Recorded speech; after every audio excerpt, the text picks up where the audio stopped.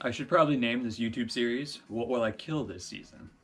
Hey guys, how's it going? Gardener Sean here, and I'm giving you a day 15 update.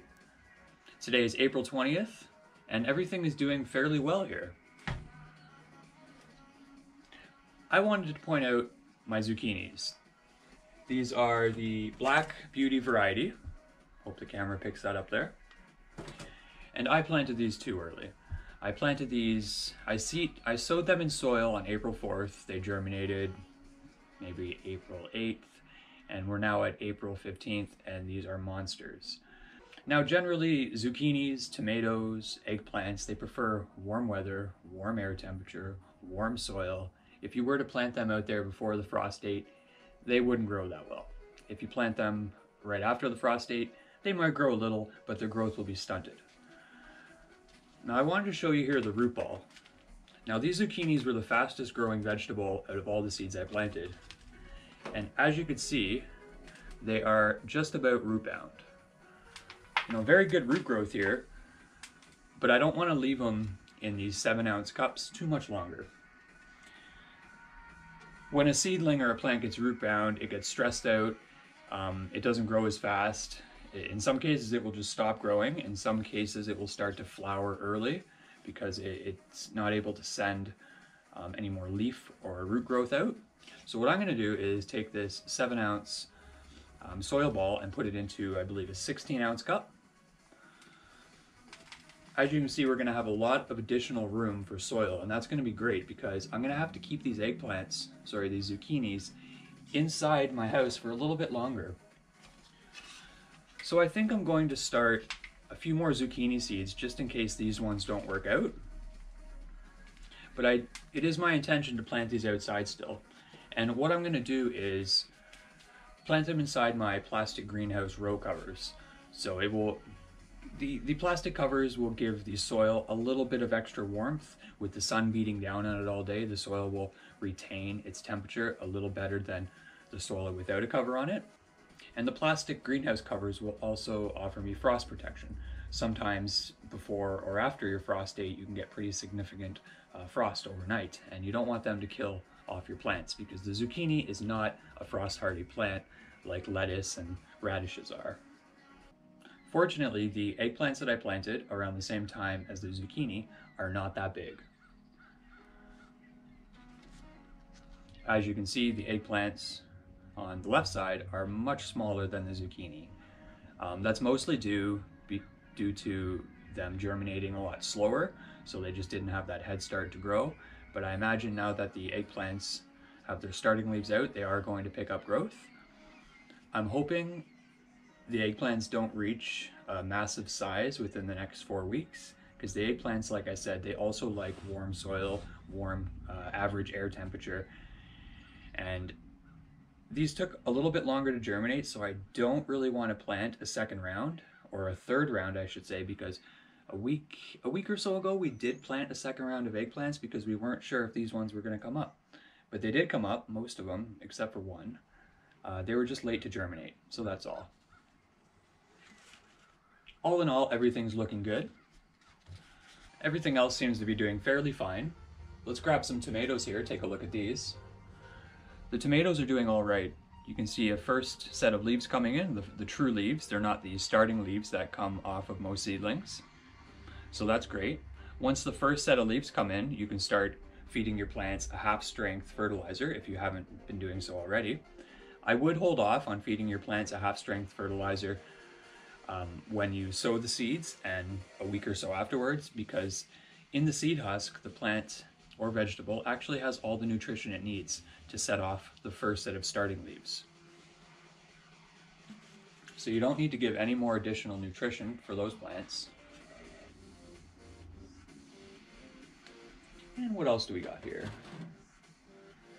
Got some beets and we got some radishes. Now the radishes were first to pop up before the beets. The beets were about maybe behind three to five days. As you may or may not be able to see, the radishes, um, this one isn't the best example, there's some bigger ones further along, but the radishes are starting to get their first set of true leaves in, which is great. Uh, the beets seem to still be on their starting leaves, but they're growing just as fine. The beets and radishes we're going to get out fairly soon in the next couple weeks. Now our frost date potentially is still four weeks away, but I am making greenhouse row covers to put over my raised beds and that will give my um, early hardy plants a bit of frost protection if the nights do dip down below negative zero Celsius. And here we have two varieties of sunflower. I may have planted these a little early too, I'm not exactly sure, but we're gonna try and take care of them as best as we can. On the left we have a Fantasia variety, and on the right we have a Kong variety. I believe the Fantasia variety is a little bit multicolored. You might get some oranges, some dark yellows, etc. And the Kong variety is just very tall and has a very big, round, fluffy flower, kind of like a teddy bear. I, I think it's like a teddy bear. It looks nothing like a teddy bear. And what else do we got here? Take a little peek around. Ah, I'm really happy about these. Okay, so the marigold started off super small and I wasn't sure, you know, if their growth was stunted, if they were dampening off, if they had maybe a bit of um, uh, problem with the soil, disease, infection, mold. But as you can see, the second set of leaves are coming in on the marigolds and they're looking really good. I've never grown flowers before. This is new to me. Uh, it's pretty exciting. I'm, really excited, as you can obviously tell. Um, and this is great. Uh, flowers are wonderful. They, they look nice, they smell nice, they, they feel nice. Do flowers feel nice? You shouldn't feel flowers, you might damage them, but anyway, um, I'm really excited about the idea of companion planting. I'm excited to get some flowers in and around my, my yard, my garden, to attract in the pollinators. There's a lot of benefits to putting flowers in your garden, whether that's just laying them around your yard or sowing them directly with your vegetables. Some of those benefits are um, insect and like aphid control, any harmful insects or beetles or something like that that might attack your plant. Sometimes the flower's scent or the, um, the, the, way they interact with the environment can repel uh, harmful bugs and insects. So that's really cool, protect your plants. But more importantly, flowers produce big, beautiful flowers that attract bees, pollinators, and other flying insects that will jump around to your plants and spread the pollen. So for anyone growing um, zucchinis, eggplants, that generally need to be pollinated, you can pollinate them yourself with the male and female flowers, but it is a little bit time consuming and tedious. Um, why not let nature work for you? Bring in some bees, give them a food source, give them something to do, make them happy, and in return, they'll help you with your garden. I really like the idea of working with nature and other insects and kind of coexisting and having a good relationship with each other. I can help the bees and the bees can help me. Let's take a quick look at the rest of the vegetables that I'm growing. So the tomatoes are looking pretty darn good. They were a little bit stressed out when I brought them outside the first day. I left them out for a little too long. But they are bouncing back. They're doing great. God, those marigolds are doing so good. I'm so happy with the marigolds. Got some marigolds, got some radishes, tomatoes, Kong sunflower, Fantasia sunflower. These large fellas here are the zucchinis. As you can see, the shelves may look a little empty compared to our last video, and that's because I've changed things around. I no longer have my succulents here and my jades. I moved them up here, gave them their own little spot, and that freed me up some space to utilize these lights I had under here. So these lights are really close to the plants, and I did that for all the plants that just need a bit of an extra boost. You can barely see the leaves coming up there. That's the basil. I'm not sure if that's gonna grow Looks like it's having a hard time. Oh, this one's getting fairly bigger compared to yesterday. That's great. Let's check out the pansies. They're strengthening up a little.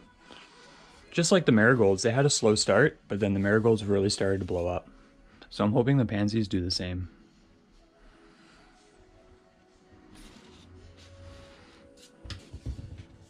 Here's some good marigolds that are coming up. Now I'm not sure if I should thin these. I'm just going to leave them as they are and make that decision when I transplant them into a bigger cup or a pot outside. We still don't have very much growth on the sweet potato. I'm kind of writing that off for the year. I'm a little disappointed, but I'm going to leave it for now and still try and take care of it. If we get any growth, then that'll be an additional vegetable that we can plant in our garden. All in all, things are doing good. Let's try not to kill myself while I step on this stool here. Now at first glance, you must be thinking, what the heck is in these cups? I sprinkled a little bit of cinnamon on here. It apparently helps with fungus forming and potentially helps with fungus gnats. Now it was a little bit of an experiment. I sprinkled a bit on half of each of the lettuces. I just want to do a bit of a comparison to see what I find. Oh, this is exciting. So as you can see, we got some growth happening.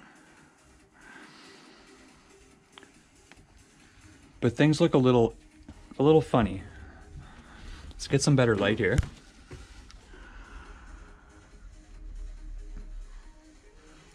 Now I think the roots, sorry, I think the seeds need a little bit more soil put on top. So what I'm gonna do is I'm gonna sprinkle a little bit more soil on top and lightly wet it. I may not have put enough soil on top when I sowed these into the soil because it looks like the seeds are doing some weird things there. Let's see what's going on with this one. Now this one's looking a bit better.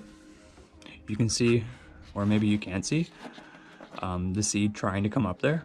It's kind of bent around and eventually it's going to force its way up and as it pulls up, the soil will hopefully hold on to the seed and the plant will pull right out of the seed and the ground and start looking for light. So that'll probably be up by tomorrow morning and we'll have to keep an eye on the rest of these. That's exciting. I only sowed these a few days ago. We better check the rest of them over here while we're up here. Now I don't expect any of the peppers to come up anytime soon. Quite frankly, they're a pain in my butt. but I'm sure everyone has a different experience with peppers. Yeah, nothing here. Um, I don't think I mentioned this in the previous video, but these weren't all peppers. There are only six peppers, and the rest is a variety of spinach. So the spinach and the two varieties of lettuce and our beets and our radishes are going to be the first that we plant outside. And we may even start um, a second round of seeds to sow in succession that way we don't eat the first round of our crops. So every two weeks, we'll essentially have a new round of crops from to pick from. And if we pick a little bit from our crops every day or a few times each week, they'll actually produce more. So you can either wait for your crop to fully grow and then pick it all at once, or pick little bits and leaves off your lettuce and spinach as they grow. One thing you can do, and I'll probably get into this at a later video, is to prevent any plants from flowering too early. Because what happens when a plant flowers, it starts to send its energy into growing flowers and growing fruit and sends less energy into the roots and into the leaves. So if you're still at an early season in your growing stage, you don't want your plants to flower. You want to take those flowers off and tell the plant, hey, we don't need to make flowers or fruits right now. What we need to do is focus on our root growth and our leaf growth. And in doing that, you'll get a stronger plant. And then a few weeks later, it can start to focus on fruit and flower development, and you'll get more fruits because you now have a more stronger and broader plant to hold on to those fruits. Well, that's it for today's video. I just wanted to thank each and every one of you for watching, and I hope I motivated you and encouraged you to do some gardening of your own. Like I've said in previous videos, gardening isn't that hard, and sometimes the hardest part is to just take that first step and learn what you need to do. So I encourage you to get some soil, to find some maybe margarine or potting containers, and to plant some tomato seeds. Tomato seeds are very cheap. You can get them for a couple dollars and you generally get 30, 40, 50 plus seeds. So I encourage you to start your own garden and to grow your own food. Thanks for watching guys. Feel free to subscribe if you like what you see and I'll see you next time.